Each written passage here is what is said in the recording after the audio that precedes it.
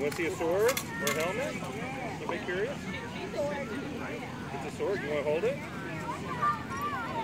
Just don't wave it around, but you can hold it. All right, put your No, index no. finger up over, move it up one level. There you go. That's how you hold it.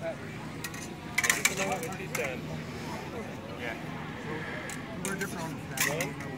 Oh! There are some swords that are two-handed. Lost the chip. Other tip. So he used the magic word soul. Stop the fighting.